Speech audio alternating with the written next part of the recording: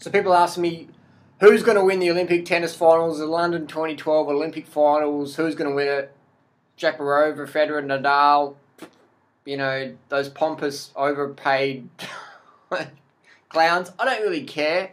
What I want to see is the Paralympic tennis players, man. The Paralympic tennis players, because playing tennis in a wheelchair, now that is fucking skill. You know, walking around in some skimpy dress, blah blah blah, taking steroids and you know skipping anti-doping agency tests and all that. Who cares, man? That's like mainstream tennis. I want to see the Paralympic tennis players playing the double sets in the wheelchairs, smacking back balls. Now that is fucking skill, man. And those Paralympic players, man, they're earning fuck all money.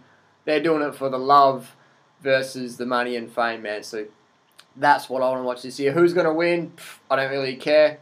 But man, I'm to be watching them Paralympic tennis players and uh, watching that definitely because that is some fucking heart, man. That is some fucking heart playing tennis in a wheelchair. now that is skill.